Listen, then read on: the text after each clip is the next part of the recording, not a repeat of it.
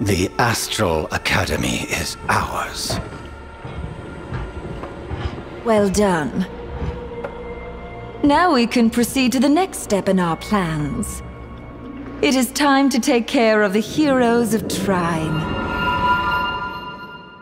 This is a story about the fabled heroes of Trine and their struggle against their worst enemy yet. For dark and ruthless powers were weaving their webs in secret.